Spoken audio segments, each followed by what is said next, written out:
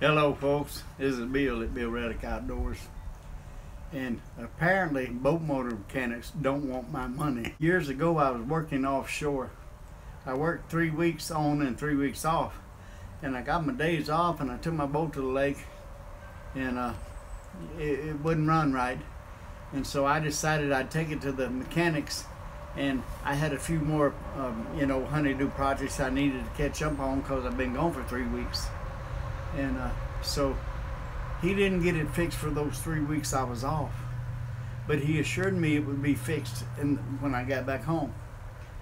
Uh, long story short six weeks later my boat still wasn't fixed. And I got aggravated and I went and got it and brought it home. In about an hour's time I had fixed it myself. That's the first time I took a boat to the boat motor mechanic.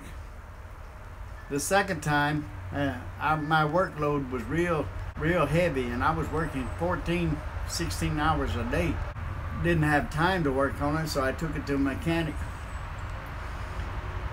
Three months later I went and hooked to it and brought it home. Tore it down and fixed it myself. Well uh, last spring I had, had got in a bind and couldn't find any ethanol free gas. Uh, this ethanol gas is causes all kind of trouble with boat motors. Well, that stroke come along and hit me before I could burn all that gas out. And it's laid me up for a few months. And I decided to try to crank it the other day. And it wouldn't crank. And I said, oh no, what's wrong? Because this one's always cranked.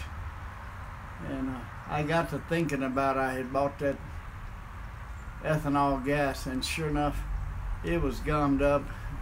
And so I, I, decided to take it to the boat motor mechanic my third time in a lifetime to go to a boat motor mechanic because my my hands since my stroke don't work good and I can't turn wrenches and screwdrivers and work on nothing. And so it sat out there for two or three weeks in a downpouring rain and storms which he told me that he would not leave it outside and I got aggravated about it and got my brother to drive out there with me. And I brought the thing home. The third time from a boat motor mechanic, I couldn't get it fixed. They don't want my money, apparently. And like I said, my hand don't work good, but I tell my brother what to do. And bless his heart, he, he works on that thing. And This one rebuilt my fuel pump before he had to go home. And my other brother cleaned out all the fuel system. He also plays a little guitar. But look what he's doing now.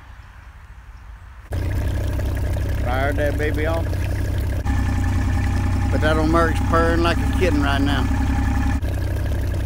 I see a fishing trip coming up pretty soon. Just remember folks, whether you're at work or play, I hope you have a nice day. This is Bill Reddoch Outdoors. See y'all.